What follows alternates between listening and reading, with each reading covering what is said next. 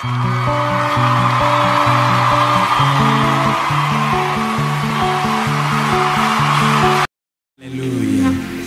Praise the Lord. Amen. Good morning. How are you?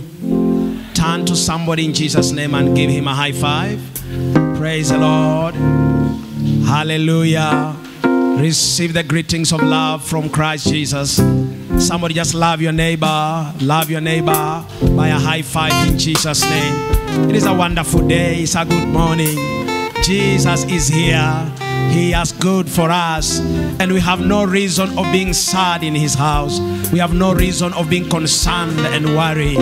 He has good plan for us, and we ought to trust and believe in Him, and we see His goodness flow in our lives indeed. In Jesus' name, say Amen. Amen. Now, this morning, uh, we will have two preachers, me and my wife. Praise the Lord. Me and Pastor Cecilia. And by the grace God has given me and her, I just want her to come and deliver what God has given her. And by the grace of God, I'll pick up as the Holy Spirit leads me and to her in Jesus' name. So help me, just welcome her. In Jesus' name, in Jesus' name, in Jesus' name. Do it more, more, more again. More, more, more. In Jesus' name. Sina,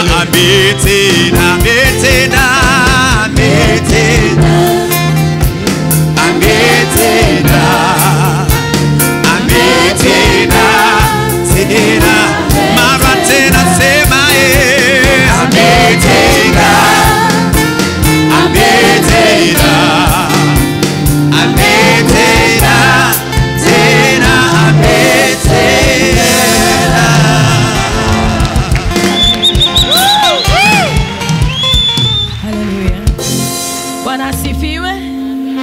Ah, asifiwe. Tuna furaha. Unajua ukiwa kwa nyumba ya Bwana ni baba yako. Na hakuna mtu ukasirika kwa baba yake, si ndio? Tunakuwa na furaha, si ndio? Si tukuwe tuna hiyo mazoea ya furaha furaha tu kila saa. Si ndio? Hebu tabasamia mwenzako, mwambie nimefurahi kuwa katika nyumba ya baba asubuhi ya leo. Tabasamu tu.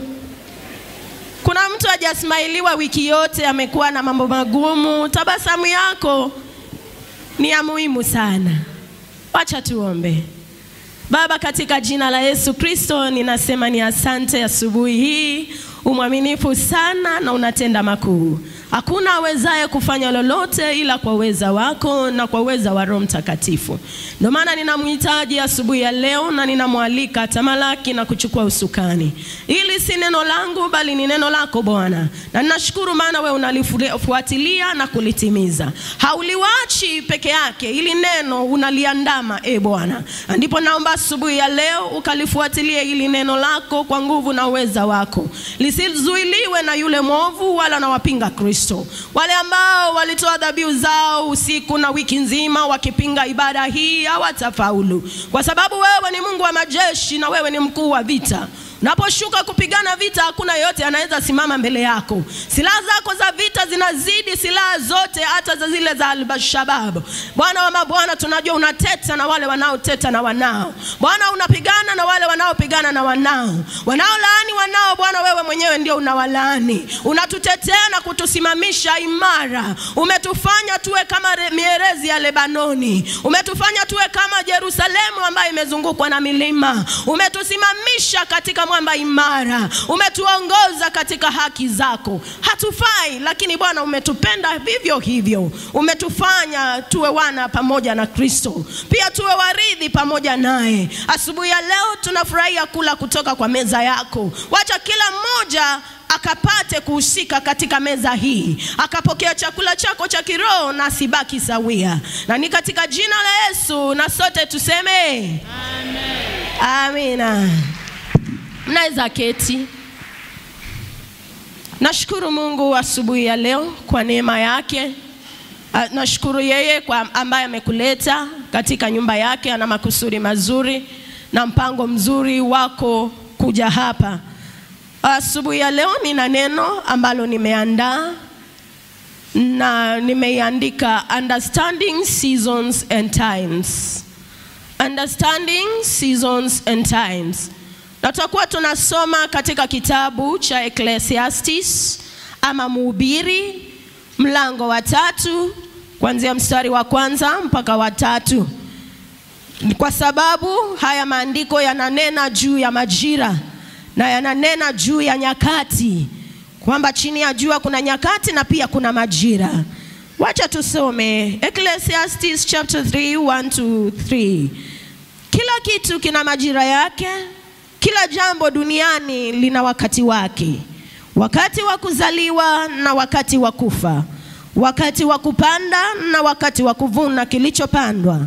Wakati wa kuua na wakati wa kuponya, wakati wa kubomoa na wakati wa kujenga.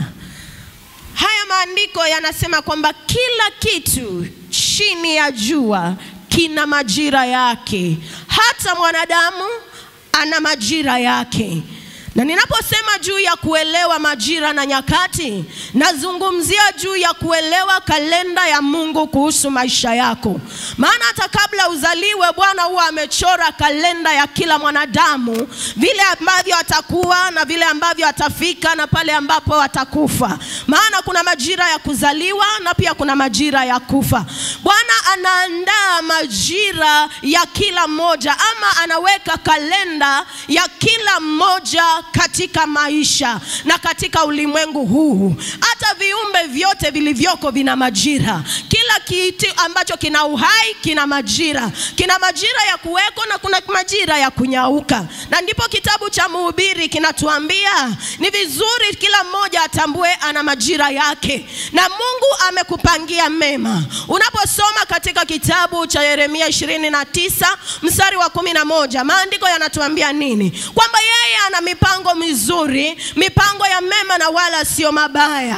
Lakini hata kama imeandikwa kwamba ni mipango ya mzuri na wala sio mabaya, haimaanishi majira yako yote yatakuwa mazuri ama tambarare. Lazima kutakuwa na majira kama vile yameelezwa katika kitabu cha Mhubiri. Kuna majira ambayo utakuwa na changamoto na kuna majira ambayo utakuwa na vingi. Kuna majira ya utele, kuna majira ya upungufu, kuna majira ya changamoto na kuna majira ya kuzungukwa na neema ya Bwana ukishinda changamoto zote. Kwa hivyo mwanadamu anapoelewa kwamba majira yote yako kwa ajili yake, hakuna yoyote ambaye ataondoka kwa uwepo wa Mungu, wala hakuna yoyote ataasi Mungu na kusema mbona nimepitia magumu haya muda huu wote, mbona nimepitia changamoto hizi zote muda huu wote. Mwanadamu ni vyema afahamu kwamba majira huja, lakini ni ya muda tu. Majira huja, lakini hayadumu. Majira huja, lakini si ya milele. Kutakuja majira ya machozi, utajulia, lakini katika kulia kwako kwa yale machozi, mwambie Bwana, katika machozi haya bado naendelea kukutumikia. Mwambie Bwana, hata katika majira ya changamoto, katika changamoto hizi Bwana, unanifunza zaidi kukufahamu, unanifunza zaidi uweza wa mkono wako, unanitaka nijue kwamba hata katika shimo utaniondoa, hata katika utelezi Bwana utanisimamisha katika mwamba imara. Kwa sababu gani? Yeye hataki ukae hapa duniani ukistarehe. Yesu Kristo akawaonya wanafunzi akawaambia, mnapokuwa hapa duniani mjue hapa sio kwenu, kwenu ni juu mbinguni, na nimeenda kuandalia makao. Bwana ameenda kutuandalia makao, lakini hataki tufanye hapa duniani kana kwamba ndio kwetu. Hataki tustarehe na tuweke mguu juu ya mwingine, kwa sababu yule mpinga Kristo, yule mpinga mema yako, yule mpinga ufanisi wako, kila siku anatembea huku na kule akitafuta ni nani wa kuangamiza. Bwana asifiwe. Kwa hivyo kama Mkristo hautarajiwi ukae tu ukisema ndiyo Bwana amesema, mipango yake ni ya mema kama sio ya mabaya. Utakapopata changamoto ukiwa na hiyo dhana uta backslide ama utarudi nyuma ama hautamwamini Mungu. Unaposoma katika kitabu cha Deuteronomy 30 ama kwa Kiswahili Kumbukumbu la Torati 15 to 20, Bwana anawaambia kuna mipango mizuri nimewapangia. Anaongea na wana wa Israeli, nimewapangia mambo mazuri sana, mambo ambayo ni ya kuwafanikisha. Nataka kuwapatia nchi ambayo mtakunywa asali na mta, mtakula asali na kunywa maziwa. Lakini unapoangalia kitabu kile katika Deuteronomy 31 to 5 anawaambia hivi, leo naweka mbele yenu nyinyi wenyewe mchague kama mnataka mauti ama kifo, kama mnataka baraka ama laana. Kumaanisha kalenda ya Mungu kutimia katika maisha yako, inakubidi wewe usimame na hiyo kalenda ya Mungu, ama usimame kulingana na maadili ya Mungu. Hautatembea kando na maadili ya Mungu na utarajie kalenda ya Bwana itimie. Baraka nyingi Bwana aliwaambia katika Deuteronomy 28. Unaposoma kuanzia mstari wa kwanza kuteremka, unaona baraka nyingi Bwana aliwatajia wana wa Israeli, akamwambia nitawabariki na hizi baraka zote, ila mkigeuka na kwenda kinyume na neno langu, pia hizi laana zitawafuata. Unauliza siku ya leo, kwa nini Wakristo basi wanaishi maisha ya kufinyiliwa? Kwa nini Wakristo wanateseka na hali kwa muda mrefu? Ni kwa sababu mara nyingi changamoto zinapokuja kutuchonga, mara nyingi changamoto zinapokuja ili tusonge karibu na Mungu, tunaamua sasa kwenda the opposite direction. Tunaamua sasa kutoweka kwa uwepo wa Mungu na tunaamua kukumbatia kile ambacho watu wa ulimwengu wamekumbatia, lakini yule ambaye anakaa katika majira hata ya changamoto, katika nyakati hata za changamoto, yule Mungu anambariki na baraka zake, na baraka zake hazileti huzuni, baraka zake zinatajirisha, baraka zake zinajaza unene. Hata Mungu akawaambia wana wa Israeli, mtakaporidhi ile nchi ya Kanaani, mtakapokuwa mmekula na mmenenepa, msinisahau. Hata katika utele pia mwanadamu anaweza msahau Mungu. Bwana asifiwe. Lazima upurpose in your heart. One thing I know with God, He never forces anyone to make a choice, but He will influence the choice that you make. He will never force you to take this way, but He will influence your thoughts of taking that path.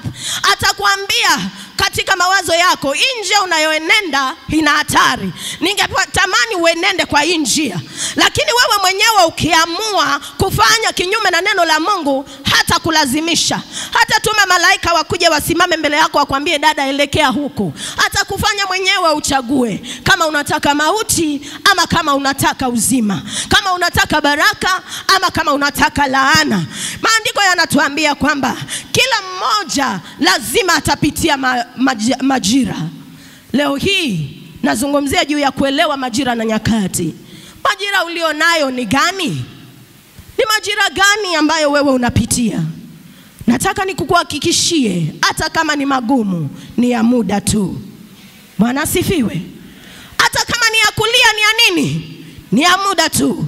Yanaruhusiwa tu kukupeleka usiku, lakini asubuhi ikifika hivi, majira yale yanakatika. Hakuna majira mawili huwa kwa wakati mmoja, kuna majira moja kwa wakati mmoja. Ukilia leo, kuwa na tumaini moyoni, kesho nitacheka. Ukiteseka leo, kuwa na tumaini, kesho nitafurahia. Wale wakaao chini ya uvuli wa neno la Bwana wataishi kwa hilo neno na kunawiri kwa hilo neno. Ukiamua utakaa chini ya uvuli wa neno la Mungu, utakula kwa hiyo neno, utanawiri kwa hiyo neno, utapanuka kwa hiyo neno. Lakini ukiamua kuenenda kinyume na majira na neno la Mungu vile limekutajia, utakonda, utateseka, utaandamwa na adui na hakuna atakayekusaidia ila yule Mungu umrudie tena, maana yeye ndio msaada wetu wa karibu. Kuna mambo fulani nataka tuelewe juu ya majira. Number one thing, it is possible for a Christian not to understand their own seasons. Inawezekana kwa Mkristo asielewe majira yake. Mnakubaliana nami? Inawezekana uishi katika maisha haya na usielewe majira yako. Even the understanding of the scriptures, having scriptures in you, being conversant with the word of God, doesn't automatically assure you that you will understand the seasons. Jesus rebuked the Pharisees and the Sadducees kwa sababu wale walikuwa watu walikuwa wameelewa neno, walikuwa na sheria zote wamezizingatia, walisikia neno ya manabii wakitangaza kutakuja Mesia, kutakuja ufalme ambao hauvunjiki. Lakini wakati Masia alipofika, hawakutambua kwamba yale ndiyo yalikuwa majira ya Masihi kuja wao katika ufahamu wao wote wa sheria na katika kuamini uh, manabii wa kale hawakuweza kuelewa kwamba yale ndiyo yaliyokuwa mashijira ya Mesihi kuja. Unaposoma the book of Matthew 16 1 to 3 Mungu kila mara anatuma ishara kabla hujaingia kwa majira fulani. Mungu atatuma ishara kukuonyesha, dada, haya ndio majira yako. God always sends a sign. The book of Amos 3 7, the Bible says that God does nothing without letting his servants, the prophets, know. You are a servant of God. Wewe ni mtumishi wa Mungu, wewe ni kuhani teule. Bwana atendi chochote katika maisha yako pasipo kukujulisha. The book of Amos 3:7. Austin, give us that. Amos 3:7. He doesn't allow a season to come in your life without letting you know. He will send a sign that this is a season of your blessing that this is a season of your prosperity. This is a season of your upliftment. This is a season of prophecy. Surely the God does none, the Lord God does nothing unless he reveals his secrets to his servants the prophets. Have you seen that verse? The Lord does nothing before revealing it first of all to his servants. And that is why I'm telling you that God has already sent a sign that you are in a particular season. It is only you to tune in to the Holy Spirit of God. He who has been given to us to make us to understand times and signs and to understand the seasons that we are living in. Praise the Lord. Tumepewa mmoja ambaye ni Roho Mtakatifu, utusaidia kuelewa tuko kwa majira gani, na hii ni maandalizi. Analeta ishara kukuandaa ili ufanye the necessary, ili usizuiliwe kuingia katika yale majira. There are people who have missed their season.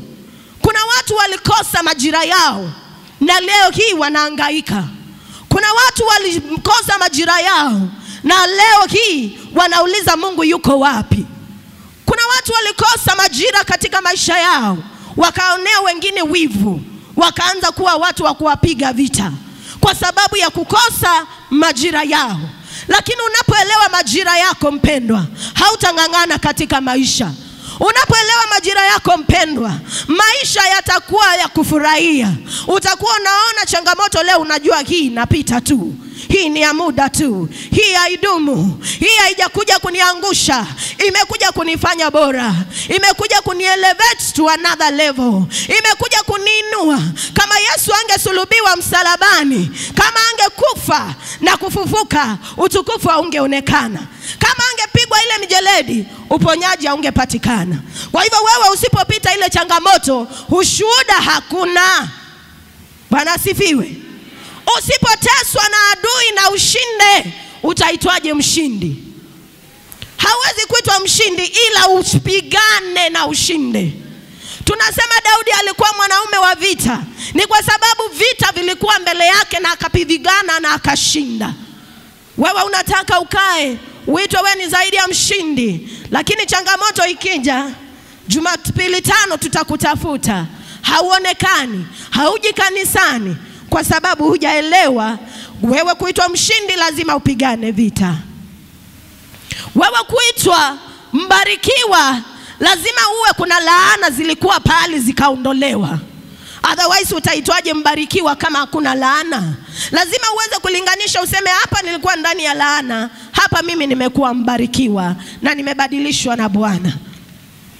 Number two, seasons recur, yaani majira hujirudia.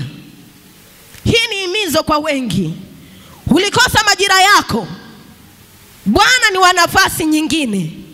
Angalia vile anampatia Petero nafasi nyingine katika maisha. Baada ya Petero kumkana, hakukusema potelea mbali, alimpa nafasi nyingine ya kumtumikia. Na kama kuna mtu alitumika kati ya wale mitume wa Yesu ni Petero, ndio tunamsikia zaidi. Kwa sababu gani? Alipewa nafasi nyingine. Angalia vile uh, Bwana anamwambia wale malaika wanapomtembelea Abrahamu na Sara katika kitabu cha Genesis 17:21 Bwana anawaambia Sara, majira kama haya mwaka ujao utabarikiwa, kumaanisha kutakuwa na majira kama haya mwaka tena ujao yatatukia. Kwa hivyo ni himizo kwako mpendwa, ulikosa majira yako haijaisha, kuna tumaini. Ulikosa majira yako ya kuinuliwa, bado kuna tumaini. Ulikosa majira yako ya baraka, bado kuna tumaini. Majira yake yako yatakuja tena. Mpigie Bwana makofi, maana anatupatia nafasi nyingine kila mara. Usife moyo mpendwa, ukisema sasa mi nitakuwaje? Maisha yangu yatafika lini kama nilikosa majira yangu? Utapewa nafasi nyingine, lakini na mpendwa, usikose yale majira yako. Ndio maana unafaa utembee karibu na Bwana. Ndio maana unafaa usongee karibu na watumishi wa Mungu. Ndio maana lazima ubaki katika maombi. Ndio maana lazima umdhamini Roho Mtakatifu. Ukimdhamini Roho Mtakatifu hautaaibika, atakufunulia majira yako yamefika, ni wakati wa kuamka na kuenenda. Kuna watu ni majira yao ya kuinuka na kuangaza, lakini hawajajua majira yao yamefika. Na unajua majira yako yakija ya kuangaza giza kwanza inatangulia, ndio tujue machweo imefika. Kuna kuanga na giza totoro hapa karibu asubuhi, kuna kuwa na giza totoro sana, lakini jua likianza kuchomoka lazima giza iondoke. Na ndipo nakuambia, ikiwa ni majira yako ya kuinuka na kuangaza, kama vile maandiko yanasema katika kitabu cha Isaya, lazima uone kwamba kuna kagiza kanaingia, na giza imaanishi kwamba itadumu giza itaondoka kwa sababu jua lako litachomoza. Lazima wakati unataka kuinuka, shetani ainue changamoto. Angalia yale Yesu Kristo anapitia, anateswa sana mpaka inakuwa ngumu kwake. Anamwambia Baba, niondolee hiki kikombe. Unadhani ilikuwa rahisi kwa Yesu? Haikuwa rahisi kwa Yesu. Ndiye amwambie babaye ye mwenyewe alikuja duniani lakini inafika the when he's about to be crucified he feels it's very heavy on him. Anamwambia baba niondolee hiki kikombe. Na anasema tufuate nyayo zake. Kuna maanisha kwamba kuna wakati utahisi bwana ondoe hiki kikombe kwa sababu ni kizito sana. Lakini ni makusudi ya mungu ukibebe hicho kikombe ili utukufu wake uonekane. Ni makusudi ya Mungu ulie kidogo ili udhamini kucheka. Ukicheka kila siku utawaiona kama kulia ni, ka, ni kitu, lakini ukilia leo na kesho uwe na furaha, mpendwa, utadhamini kicheko. Na ndio maana anahakikisha kabla hajakupatia majira mazuri, kwanza anakupitishia kwa yale makali ili ujue kuyadhamini yale majira mazuri. Mimi niliyapitia machungu. Mchungaji mara nyingi ameeleza, tulipoteza watoto wetu watatu wa kwanza, na hivi leo ninadhamini watoto wangu sana, kwa sababu niliyewakosa nikajua changamoto ya kukosa watoto. Ndio maana leo Bwana anaacha ukose kila kitu ama ukose fedha ama hiyo biashara ishuke tu chini kidogo, ili wakati Bwana atakuwa anakupeleka hatua baada ya ingine, utashangilia yale majira na utadhamini kwamba ni kazi ya Mungu. It's also important to know that seasons are in the hands of God. The book of Psalms 31:15. Hakuna mwanadamu ana uwezo wa kudhibiti majira. Hata we mwenyewe hauwezi dhibiti majira yako. Huwezi sema leo kutaenda hivi na kesho kutaenda hivi. Bwana ndiye ana uweza wa kubadilisha majira na kuyaleta na kuyaondoa. Daudi anaelewa kwamba Bwana ndiye aliye na majira, na ndio maana unaona uh, parts of Ukambani zinateseka na a lot of dry spells kwa sababu walidhani wao wenyewe wanaweza chukua majira kwa mikono yao na wakatawala na wakafanya yale Mungu ambaye anaweza kufanya. Wale ambao tulisoma ile syllabus ya kitambo, tulipokuwa tunafanya somo la JC, tuliambiwa we were taught about the rainmakers of Ukambani.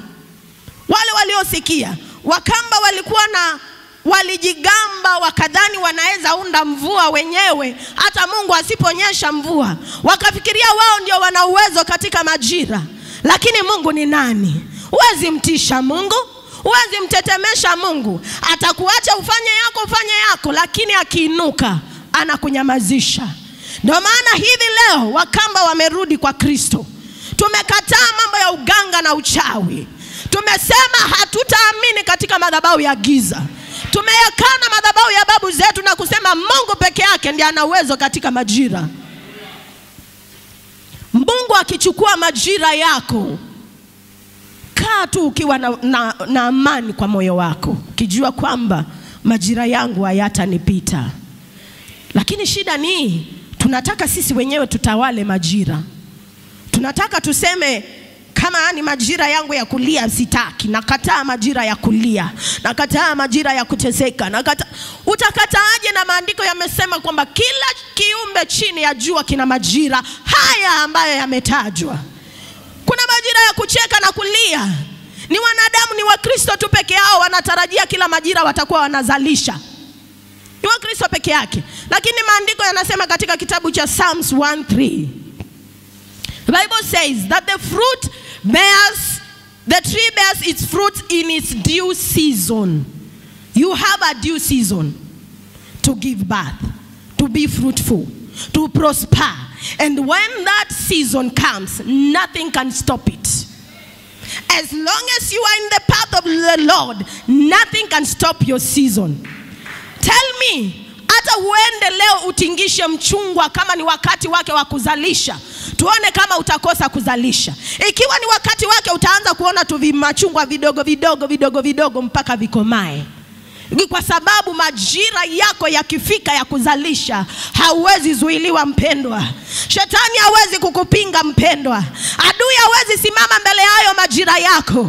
Ikiwa ni majira yako ya kutunukiwa baraka na Bwana, hata waganga wainuke, wainame, wafanye sarakasi zao, wafanye vituko vyao, utaibuka mshindi. Hata kama watatumwa wakuje wakae karibu na wewe, wenyewe tena watabeba virago na kuhama. Ni kwa sababu majira yako hayawezi kuzuiliwa, ni kwa sababu majira yako yako katika mikono ifahayo.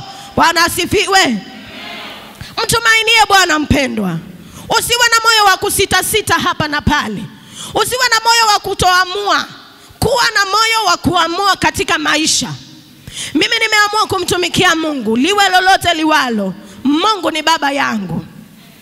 Mfanye Mungu kuwa baba yako, tuone kama utakosa chema. Mkono wako utaleta shibe na wa kushoto utaleta maji, hautakuwa na upungufu wala kukaukiwa. Mungu ni mwaminifu sana na ninampenda, na akafanya majira yawe na majira yakome, mengine mapya yaje. Sababu nyingine, kitu kingine ambacho nataka uelewe juu ya majira ni kwamba sin can change a season. Sin can change your season, your season. Dhambi inaweza badilisha majira yako. The book of Leviticus 3 and 4. Mungu anawaambia wana wa Israeli, ikiwa mtatembea katika kanuni zangu, nitatuma mvua kwa wakati ufaao. Lakini kama mtatembea kinyume na hiyo, nchi yenu itakauka, hamtapanda na kuvuna. Anawambia hata mkijenga manyumba hamtaishi ndani kwa sababu ya kutonitii. Majira yenu yakija ya mvua hayataweza kunyesha kwa sababu ya dhambi. Vyema, tuogope dhambi ikiwa kweli umetangaziwa mpendwa, kwamba utaenda kuinuliwa, kama utaenda kubarikiwa. Wewe mwenyewe usibadilishe majira yako kwa kuondoka kwa makusudi ya Mungu na mapenzi ya Mungu. Let us have the fear of God. Tuwe na ile hofu ya Mungu, kicho cha Mungu. Ukisikia hiki ni kitu cha madhabahu, unatetemeka. Ukisikia kwamba mtu anakuelekeza kwa njia ambayo ifai, unasema dada, enda peke yako, mimi nabaki ili nikae katika makusudi ya Mungu, kwamba sitafanya chochote kilicho kinyume na neno la Mungu kwa kujua. Kuna wakati mwingine unajipata kweli umetenda dhambi pasipo kujua, especially dhambi ya mdomo. Unajipata ulikuwa unaongea, lakini unajipata umetenda dhambi, unashtukia. Lakini kuna dhambi ingine mwenyewe unapanga mikakati na unaingiza vitu mpaka inaingia ndani. Una wakati wa kukimbia, lakini mwenyewe unatengeneza mazingara mazuri ya dhambi. Ni heri kutoroka dhambi. Tumetangaziwa kwamba tutafanikiwa hakika tumetangaziwa tutainuliwa. Mtumishi wa Mungu alikuwa anaongea akisema, ni wakati sasa wa mali ya dunia kugeuzwa na kuletwa kanisani. Hayo majira yamefika, lakini dhambi yako itakuzuia usiingie katika haya majira. Utaona wengine wanabarikiwa na fedha na mali na vitu vizuri, lakini hautapokea. Si kwa sababu haufai, ni kwa sababu hujatambua kuwa katika njia ya pekee ya kusuluhisha dhambi ni toba. Maandiko yanatuambia sote tumetenda dhambi na kupungukiwa na utukufu wa Mungu. Basi tufanyeje? Turudi kwa Mungu kwa magoti, kwa kumlilia na kumwambia atusamehe. Maana wakati Kenya ilirudi kwa miguu ya Mungu na kumwambia Mungu tusamehe kwa dhambi zetu, tusamehe dhambi ambazo watu wametenda katika nchi ya Kenya, viongozi wetu, tuliona majira yamebadilika na Bwana akaleta mvua. Hivi leo tunafurahia kwamba tutavuna, hivi leo tunafurahia kwamba kuna utele katika nchi ya Kenya, lakini dhambi ilikuwa imegeuza majira ya mvua yakawa majira makavu. Huenda unapitia ukavu kwa sababu ya dhambi. Huenda unapitia uzito kwa sababu ya dhambi. Maandiko yanatuambia kwamba tutoroke dhambi, maana ni maafa. The wages of sin is death. Mishahara mingine inaweza badilika, lakini mshahara wa, mauti, wa dhambi umebaki mauti, haubadiliki, ni vile vile. Unataka majira yako yatimie, toroka dhambi, kaa katika utakatifu wa Mungu. Another thing, for every season, God gives, and, uh, gives instructions concerning it. Kwa kila majira, Mungu hupeana ratiba yake, maagizo yake. Yeye upeana mkataba ambao unafaa uambatane nao ili ufanikiwe katika yale majira. Ili tubarikiwe, neno la Mungu linatuambia tukae tukizingatia kanuni za Mungu. Nataka nikupatie uh, um, nikupatie jambo la kufanya leo. Nataka uende usome Deuteronomy 28. See the kind of blessings that God has declared unto those who are willing to walk according to his commandments, who are willing to go, to go concern, uh, to go uh, in the way of his word. But the one who goes astray will receive a curse, will receive terror, will receive diseases, will receive losses, will receive evil. Yesu Kristo akasema, yoyote asikiaye sheria zangu na kuzitenda, mimi na Baba yangu tutakuja tukae ndani yake. Na ikiwa simba wa Yuda ako ndani yako, nani aweza kuwa kinyume nawe? Mara nyingi tumeinuka kinyume na adui kumpiga, lakini hatujui kwamba sisi wenyewe aliye ndani yetu alitoka. Bwana aliondoka kwa sababu hatukutii maagizo yake. If the Lord is for us, who can be against us? The Bible also says that he who is in me is greater than he who is in the world. But before you rise against him who is in the world, ensure that he who is in you is greater. Usikimbie kumshambulia adui na Kristo hayuko ndani yako, utapata mashambulizi. Mfano, wana wa Skiva walipata kichapo kikubwa kwa sababu Yesu Kristo aliye na utawala juu ya vyote aliyeambiwa kaa katika mkono wangu wa kulia na Baba niwafanye maadui zako kuwa mahali pa kukanyagia, hakuwa ndani yao. Lakini Kristo akiwa ndani yako una ujasiri kama simba. The book of Proverbs 28 says that the righteous are as bold as a lion. You are able to command the devil and he hears your command because he who is in you is greater than he who is in the world. He who does the marvelous works is in you. The power that dwells in the Lord is in you. He has given you the power to trouble the devil. Instead of the devil troubling you, you, you trouble him. Bwana asifiwe. Badala ya shetani kukutaabisha, unamtaabisha wewe. Ukiingia eneo ambao wanatumia madawa, wanahisi tu hawana amani. Ukiingia mahali ambapo wachawi na waganga wanakaa, wanasema hapa tutaki kuna harufu mbaya. Si ati harufu mbaya, ni kwa sababu yule aliyekaa ndani yako anawatisha. Wewe ni kama simba, hauogopeshwi. Majira yako yakifika na adui ayazuie, unajua kumkataza, unajua kumwambia kwamba mimi ni zaidi ya mshindi. Hakuna kitu kitasimama mbele yangu na kifaulu. Uovu hautafaulu mbele yangu, pingamizi hazitafaulu mbele yangu. Lazima niingie kwa majira yangu ya ufanisi, lazima niingie kwa majira yangu mema, lazima niingie kwa majira yangu ya kuzalisha, lazima niingie kwa majira yangu ya kuinuliwa maana utakapowacha yaondoke kwa mikono yako tena utangoja mpaka majira mengine yatakayokuja. Uta face delays. Ndio maana wengi tumecheleweshwa. Ilifika majira yako ya kutoa kanda ya mziki ukasema aa sina pesa za kutosha bwana alituma ishara zote kukuonyesha ni wakati wako wa kutoa kanda. Ukasema hapana si wakati wangu sina pesa. We ukatarajia kuona kilicho mkononi badala ya kuamini ishara bwana alizokutumia na ukainuka na ukayakumbatia yale majira. Wengi tunakataa majira yetu wenyewe kwa sababu ya kile ambacho tunaangalia mikononi mwetu. Tunaangalia mikono yetu tunaona ni mitupu tunasema ah, haya si majira yangu ya baraka. Hapana, wacha nikae ningoje kidogo ili hali ziwe sawa. Utangoja sana hizo hali ziwe sawa. Bwana anataka uinuke kwa imani na useme hakika haya ni majira yangu ya kupanuliwa, lazima nitawale. Bwana anangoja uinuke kwa imani pasipo kuona, maana hiyo ndiyo imani. Bwana asifiwe. Imani ni kuchukua kile usichoona na kukioniona kana kwamba kiko hiyo ndio imani. Usingoje mazingara yote ya kuwe conducive ndio ujue kwamba ni mazingara yako mazuri, kwamba ni majira yako mazuri. Inuka tu kwa imani, pokea majira.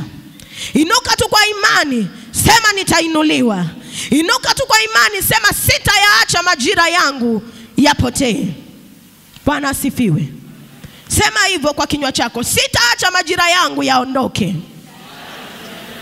nitayakumbatia majira yangu. Hali hazitanifanya nipoteze majira yangu. Unasema kwa moyo wote, basi pokea, na majira yako na yawe mazuri. Wakati mwingine unajua Bwana anatarajia tu tuungane na yale the instructions he has given unto us ili tupokee majira yetu ya baraka lakini wengi tumetulia sana. Unatangaziwa hapa kwa unabii, hayo ni majira yako ya kuvuna. Unakaa kitako, unasema ndio, ni majira yangu ya kuvuna, kwa hivyo wacha nitulie.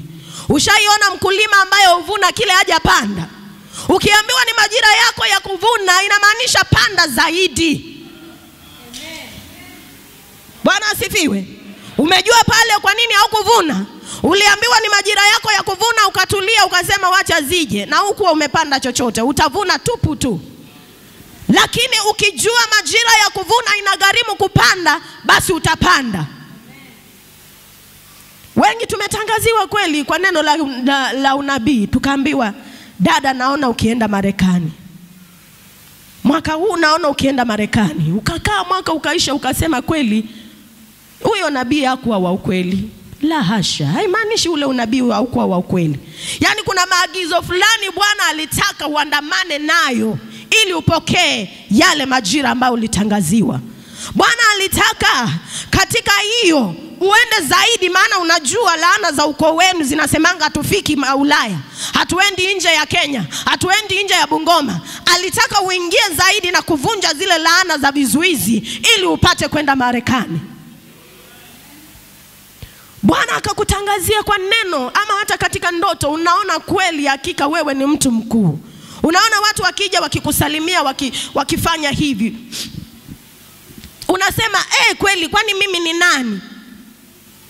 Haujui ni majira yajayo na yako karibu. Bwana anataka uinuke, ujiandae kwamba kwako ndani kuna ukuu, ndani yako kuna uweza, ndani yako kuna taji ya kiongozi. Bwana anataka uinuke, uanze kuchunguza ni wapi ambapo naweza kuwa mimi ni kiongozi, kwa sababu Bwana pia anataka Wakristo wainuke na kukaa katika nafasi za viongozi. Lakini wewe unakaa unasema, ah, hiyo ni ndoto tu, ilipita. Lakini ilikuwa tu Bwana anataka anakuchochea ili ufuate maagizo yake na upate kuona ikitimia. Lakini ukikaa tu hautapokea. Ukikaa tu itapita tu majira, utangoja majira mengine. Lakini ujue hiyo kungoja pia muda unaenda, na Mungu anaweza inua mwingine akasimama katika nafasi yako. Unaweza kosa hiyo nafasi kwa sababu ya kutosimama imara. Inafaa tukae tu katika makusudi ya Mungu, tukijua tutabarikiwa, tukijua tutainuliwa, tukijua kweli ya hakika huwezi ishi haya maisha tu ukiteseka kila siku. Hiyo ndoa haiwezi kukusumbua kila ki- siku. Kuna majira yatakuja ufurahie hiyo ndoa. Hawa watoto hawezi kukufanya ulie kila siku. Kuna majira yatakuja ukumbatie watoto wako ukiwapeana kwa ndoa, useme Yesu Kristo ni Bwana. Kuna majira yatakuja ya hiyo biashara kuinuka, na ninaombea majira moja, Bungoma hii itatawaliwa na Wakristo. Ninaomba hiyo ombi sana. Unajua maandiko yanasema nini? Kwamba wakati tutaona wageni wanainuka na kutawala, Bwana hatujamtenda mema. You will read in the book of Deuteronomy 29. Anasema, anawaambia wana wa Israeli, wageni watakuja na kutawala juu yenu, wageni watakuja na kufanikiwa juu yenu kama hamtatembea kwa njia zangu. Lakini Wakristo, wacha tuinuke na tumwambie Bwana, haya majira yetu kutawala waja yaje. Wacha Bungama itawaliwe na Wakristo. Wacha tukikaa hapa tujue huyu ndiye ana own the tower in Bungoma, the first tower in Bungoma. Wacha tukikaa hapa tujue kwamba cheki ya mtu mmoja inawezalisha mtu mmoja mwaka mzima. Ninatamani hayo majira yajie kanisa. Maandiko yanasema juu ya wana wa Isaka, hawa wana walijua wakati na walifanya kile ambavyo ilipaswa kuf, walipaswa kufanya. Maandiko yanasema hivi, Daudi kwa kinywa chake anasema sijaona mtoto wa mwenye haki akiombaomba mkate barabarani. Lakini unaposoma tu the same Deuteronomy 29 unaona maandiko yakisema watawakopesha, lakini nyinyi hamtakuwa na chochote cha kuwakopesha. Tunaombaomba kwa sababu hatuko katika makusudi ya Mungu, lakini tukitambua sisi ndio tunafaa tumiliki, tutainuka na kuchukua majira yetu ya kutawala. Utawala uko ndani ya Wakristo. Bwana asifiwe.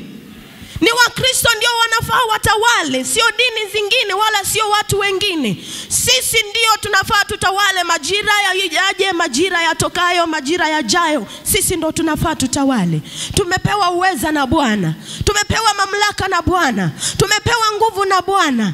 Anasema popote mtakanyaga, akamwambia Joshua, popote utakapokanyaga utamiliki. Ni mara ngapi umekanyaga mahali na ukaondolewa? Ulienda ukachukua kituo chako cha biashara ukaweka hapo, kesho ukakuja ukatolewa, ukaambiwa hapana, hapa palikuwa pangu, we ulikuja tu. Mbona huku kanyaga pale na kuposesi? Wajua Wakristo wenyewe tumeamua kujipangia mambo yetu badala ya kuacha Mungu atupangie kwa neno lake. Unapokanyaga mahali na unahisi hii eneo ni lako, sema nitatawala. Unapoingia mahali pa biashara na ugest wao watu wanatumianga madawa, sema hapa ndio eneo langu la kupanuka. Unapoingia mahali na uisi kwamba katika hii ofisi wote ambao wanaongoza wana Mungu, basi we simama pale na kusema hapa ni mahali pangu pa kupata promotion. Usione changamoto watu wakakupiga vita, kesho ukatoka hiyo ofisi ukasema hii ofisi siwezi ishi. Lazima zije, lakini kuinuliwa utainuliwa promotion utapata. Majira yetu lazima tujue kuyalinda pia. Tusiache chochote tu kichukue majira yetu. Mara ngapi kama Mkristo umeachia majira yako shetani ukiona? Unamwachia tu ayatawale na ayakanyage. Akitaka kukuachilia kadogo anakuachilia. Lakini we mwenyewe hutaki kuinuka na kupigania majira yako. Ushaisikia pepo likikemewa vile linakuanga na ugaidi. Linasema hapa hapa ni kwangu, siwezi toka, siondoki. Linafikiria hapo ni kwake, na ili hali si kwake, lakini lina ugaidi sana. Na je, we Mkristo, kwa nini unachukuliwa majira yako na hausimami kuyapigania? Kwa nini unaacha shetani atawale majira yako? Daudi akamwambia Mungu, e Bwana, nyakati zangu zi mikononi mwako, unipiganie na maadui wote, unipiganie na wote watetao nami. Ni wakati ukitambua ni majira yako ya kuingia upeo mwingine, unainua pia kiwango, maana mapepo yatakayotumwa kinyume nawe yatakuwa ya kiwango kingine. Maandiko yanasema adui huja kama gharika, gharika huja na, ma, na vitisho sana. Wakati gharika inakuja ina vitisho, ina vitisho lakini maandiko yanatutia moyo kutuambia Bwana atainua kiwango, Roho wa Mungu atainua kiwango. Kwa hivyo wakati shetani anakuja tu na hizo hizo vitisho vyake kama dhoruba, anakuonyesha vile hakuna hutafanikiwa, vile watu wenu hawakufanikiwa, vile ukoo wenu ni watu wa kushindwa, vile ukoo wenu ni watu wa kukataliwa, unainuka na kusema Roho wa Bwana ameinua kiwango ndani yangu, shetani hautafaulu. Lakini ukimwachia atatawala. Najua mtumishi mmoja wa Mungu alisema shetani unampeanga ka nafasi kidogo, lakini akiingia anapanuka, yaani anatawala, anachukua kilicho chako na kilichokuwa cha watoto wako. Lazima tuinuke na tupokee majira yetu. Basi faida ya Mungu kuleta majira ni nini? Napomalizia, kwa nini uelewe majina yako? It helps us to be in agreement with God. Ukijua majira yako ni yapi, utakubaliana na Mungu. Amos tatu tatu inasema kwamba wawili hawezi tembea pamoja ila wakubaliane. Hautakubaliana, hautatembea na Bwana kwa majira yako kama hamjakubaliana na uyajui, utakubaliana naye namna gani? Lakini ukitembea na Bwana na mkubaliane, majira yako mazuri yatakuja na utayashinda yote ambayo yanakuja kinyume nawe. Number two, inatusaidia, it helps us to embrace change and transition. You know, moving from one season to another is not easy. For instance, umekuwa katika majira mazuri na unafika wakati ni wakati sasa wa kuingia katika upeo mwingine. Nimesema kuna majira huja hapo katikati ya kukutengeneza na kukufanya uwe dhabiti. Maana wa, Mungu hataki watu ambao wamelegea mikono kushika baraka zake. Anataka watu ambao wameamua, sitalegeza silaha yangu ya vita. In the book of Ezekiel, Biblia inasema yule achaye silaha yake ya vita wakati wa vita amelaaniwa. Bwana anataka baraka zake zishikwe na watu ambao wana mikono yenye nguvu ya ambaye hawataachilia kwa adui kamwe. What the enemy does, he doesn't have anything good, but what he does ni kuchukua kile kilicho cha Mkristo na kukipeana kwake na kukifanya kiwe cha madhabahu yake. Ndio maana hivi leo watu wanasifu shetani, wakiona kitu kizuri wanasema huu ni mwabudu shetani, wakiona unaendesha gari zuri wanasema huu ni mwabudu shetani. Wanafikiria shetani ndio the author of good. No, the devil is the author of evil and not good. Stop praising the devil. It is God who has silver and gold. Na kama ameamua kuachilia kwa kanisa, wacha linawiri. Usiache kinywa chako wewe mwenyewe kikakufunga. Ukise, ukiona tu mtu amebarikiwa unasema huyu ni mwabudu shetani. Hauna hata evidence whatsoever, lakini unatangazia shetani sifa. Hizo ni sifa mnampa shetani na afai hata sifa yoyote. Yeye ni mwanzilishi wa dhambi, yeye ni mwanzilishi wa uovu, wala si mwanzilishi wa baraka. Anachofanya ni kuibia Mkristo na kukifanya kionekane kana kwamba ni chake, ili hali ilikuwa baraka yako. Siku moja nilisikia uh, Apostle Kimani akihubiri akisema kile ambacho unakufuru na ni cha Mungu hautakipata. Kukufuru inamaanisha nini? Ukiona baraka za Mungu ziko mahali na unaziattribute to the enemy, you will never receive that blessing. Ukikufuru kipawa cha mtu kilicho ndani yake na ni cha Roho Mtakatifu, wewe wakati utakitamani hautakipokea. Ukikufuru kazi ya Mungu ambayo inaendelea hapa, utakapokuwa unatamani, hata wewe hautapokea. Hata kama utapokea, itakugharimu wewe kutubu na itakugharimu kuelewa kwamba hiyo ilikuwa dhambi uliofanya Ndio maana watu wengi hawapokei the power of tongues nowadays, speaking in tongues. Maana walikuwa kwa makanisa mengine na walikuwa wanakufuru watu ambao wanaongea kwa ndimi, walikuwa wanawakejeli, walikuwa wanasema hao watu wanapiga kelele, wakaingia wakaokoka.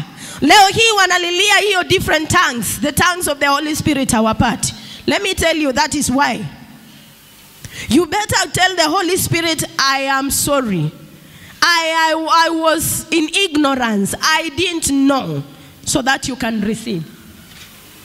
Unaona kanisa linang'ang'ana katika vipawa, maana waliona Mungu akitenda mahali na wakasema hii si kazi ya Mungu, hii ni mapepo tu, hii ni shetani tu, wakamsifu badala ya kumsifu Mungu.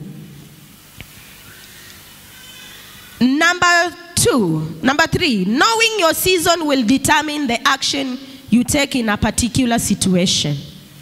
Knowing your season will determine the action to take in a particular situation. Kwa mfano, yani nasema kwa Kiswahili, the, ile action utachukua ukijua majira yako itakusaidia the action utachukua ili upokee yale majira. Kwa mfano mzuri ni Ruth. Ruth and Naomi. One thing you don't understand about Naomi is that she was not a happy mother-in-law. Aligeuzwa jina akaitwa Mara, na Mara inamaanisha uchungu. Yaani alikuwa mwanamke wa uchungu, hakuwa mwanamke rahisi wa kucope with. Lakini Ruth akaamua nitaambatana na huyu mama, maana ninaona majira mazuri mbeleni. Nikirudi kwetu sitapokea haya majira ya baraka. Kama Ruth angeandamana na Orpa warudi kwao, basi asingepokea kuwa mke wa Boaz na kuwa katika the genealogy of Jesus lakini alielewa majira na akatake action, akaamua kuambatana na Naomi hata kama alikuwa na mtu, mtu wa uchungu. Alikuwa mama wa machungu. Umefiwa na mume, umefiwa na watoto, umekaa katika nchi yenye huko kuna njaa, unafara, unafikiria utakuwa mtu wa kuchekacheka.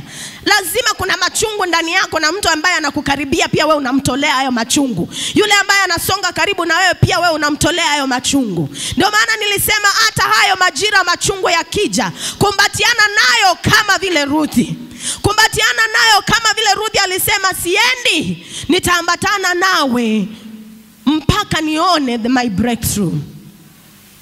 Your season of challenge has come, my sister, my brother. But embrace that season and let God complete the work that He is doing in your life. Embrace that season with prayer.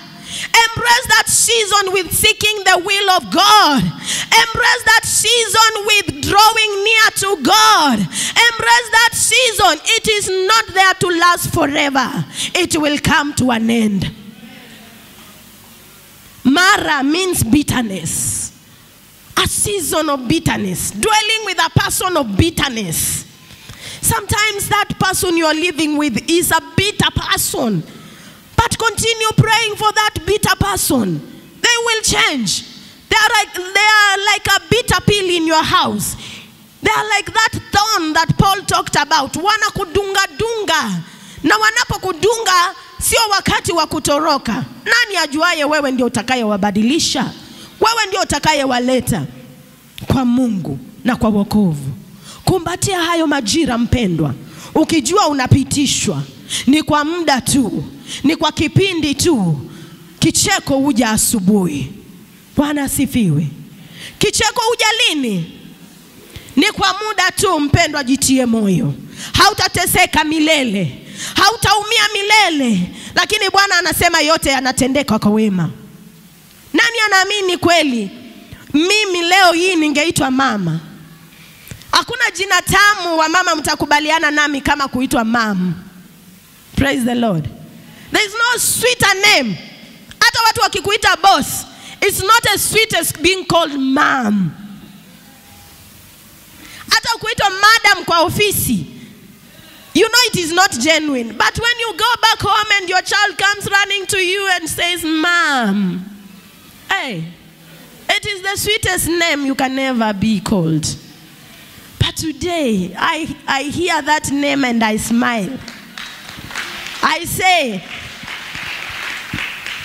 wanasema for four years I waited on the Lord. Ushauri ulikuja wa aina yote. Wale mmepitia changamoto kama hizo mnajua. Ushauri wa aina yoyote unakuja. Wenye mishumaa wanataka kukuona, wenye kuweka bes, maji kwa besen wanataka kukuona ndani, wenye kujifunika vitambaa wanataka kukuona. Hey, ishindwe. Lakini yote hayo niliyapita na nikapata ushindi. Mimi najuanga tu Mungu alikuwa anaandaa ushuhuda kwa mtu leo ili atiwe moyo. Unajua ningalikufa. Hakika niliona mimi mwenyewe my spirit coming back. I was dead. During the third pregnancy I was dead. And you know I was dead but I was a bitter person. Nilikuwa mtu mwenye uchungu kwa sababu nilikuwa nimepitia machungu mpaka nikashindwa. Mungu kweli ana mpango mzuri. Ingawaje si kwenda kando na Mungu, nikaenda kwa mganga ama nikaenda kuonwa, nilibaki tu kufunga na kuomba. Nilikonda, sikuwa hivi. Nilikuwa mdogo kwa sababu ya kukonda na kuomba, si stress sio stress, ilikuwa maombi ya kuomba na kufunga. Huwezi naona kama kila wiki unafunga. Nikasema lazima nimwone Mungu. Kumbe Mungu alikuwa anaandaa ushuhuda. Mungu alikuwa anataka siku moja nisimame niimize mtu moyo, nimwambie ni kwa muda tu. Ambia jirani ni kwa muda tu. Kicheko kinakuja, utatabasamu, lazima ako kamwiba kakudunge. Usiharakisha hayo majira, majira yapite, wacha tu yaende kwa wakati wake. Unajua wakati uh, a worm is inside that cocoon huwa inaundwa na ukimtoa pale utakuwa umemuua. Ama yai wakati linafomika, na wakati kifaranga ametoboa yai inamaanisha anataka kutoka, lakini wewe mwenyewe ukienda upasue lile yai umtoe haraka, hata survive, hata kufa, si ndio? That is what is happening to many of us. Umelia, umelia, umelia, lakini Mungu atakufanya ucheke. Sara akapata kicheko, watu wakasherekea naye, wakasema watakaosikia habari hii watacheka nami. Watu watacheka na wewe kwa sababu ya ushuhuda ambao Bwana anakuandalia. Watu watafurahia na wewe kwa sababu ya ushuhuda Mungu anakuandalia. Jipe moyo mpendwa, usife moyo, shikilia tu hayo majira, yaelewe tu yanapita, lakini wakati wa ushindi unakuja. Huwezi baki kwa majira mmoja mwaka wote, miaka nenda rudi, watoto wakuwe wadogo, wakuwe wakubwa, bado unapitia yale majira. Bwana atayabadilisha. Nataka nimshukuru Mungu asubuhi ya leo kwamba Bwana hajanibariki tu na mtoto mmoja bali wawili. Ni kwa sababu wakati ule ningekimbilia kwa waganga, labda ningepata mtoto, lakini angeniletea majuto baadaye. Labda hiyo biashara iende vizuri, lakini ukikimbilia kwa mganga ndio utatajirika, lakini pesa yako yote itakuwa tu inapotea tu hivyo. Kinachuma ulete, watakuanga tayari kupokea. Wewe unafanya kazi, wanakwambia leta. Wewe unafanya sweti yote, wewe umetoa siku nzima, wanakwambia leta. Wanaitwa chuma ulete. Wewe unachuma, wao wao wanachukua. Wewe unafanyia kazi, wao wanachukua. Maana shetani apeani chochote cha bure. The devil doesn't give anything for free, but God has a good plan for you. God is going to make you laugh. God is going to make you smile. God is going to make you rejoice. God is going to turn things around for His own glory. You are not going to be laughed at all through. People will come and laugh with you and not at you. Because He's a God who is true. I don't want to go on. I just want to invite the servant of God.